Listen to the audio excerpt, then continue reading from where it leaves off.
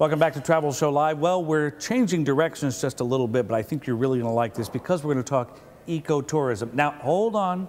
Eco does not have to mean boring. So hold on. We need to explain this. That's why we're out here at Florida Eco Safaris at Forever Florida. That's where Matt is here. Hello, Matt. Hello. How's it going? Things are great. These are lovely chairs you've whittled together for us. This is, I'm really impressed. Thank you very much. It's just another little piece of Florida's history and Just culture. right here. I love it. All right, now we need to talk first about ecotourism because you know what was it about 10 years ago in the in the travel business it got real exciting to be eco-friendly and all this stuff. but there's real meaning behind it. What does it mean? Absolutely. The whole idea behind ecotourism is, of course, that a company does a true attraction, fun experience, mm-hmm. but tied back to a cause. Like what we do here at Florida Eco Safaris, we offer a host of different safaris, but the monies that are generated through those guest experiences all goes back into keeping 4,700 acres of beautiful, pristine Florida safe and conserved the way it was meant to be. And I think that's probably one of the things that, that people say to you when they come for the first time. They probably say things like, I had no idea. Don't you hear that a lot? Every single day. Yeah, because when they come out, you know, it's what, a 30 minute drive or so uh, from downtown Kissimmee, and they come out and say, I, what, what was going on out here? So, how did this all come about? Let's start there. Well, the whole story goes back to the Broussard family who raised their young family out here. And uh, one of the sons, Allen, really took to the land. He then became a biologist, grew up to go on, become very successful in his career. Unfortunately, he passed away. But it was his dying wish to his parents to literally keep this land safe, find a way that you could get that land that was so special to him located around the family's ranch and keep it in permanent conservation. Mm-hmm. And they found ways to do that, namely through Florida Eco Safaris and the fun activities. Well, I was going to say you, you could just you know preserve the land and keep it for the wild animals and keep. You didn't have to necessarily turn it into a tourist attraction, but because you did, doesn't that do a lot more for education? Oh, absolutely.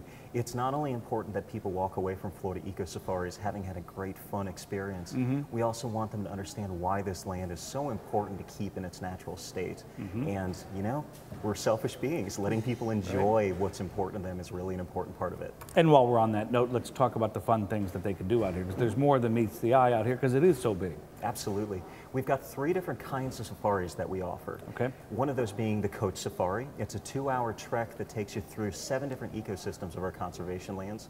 You get to go see some beautiful areas, including Bull Creek, uh, where you walk out on a boardwalk over this beautiful area um, where this uh, tea colored water flows underneath amid the cypress trees.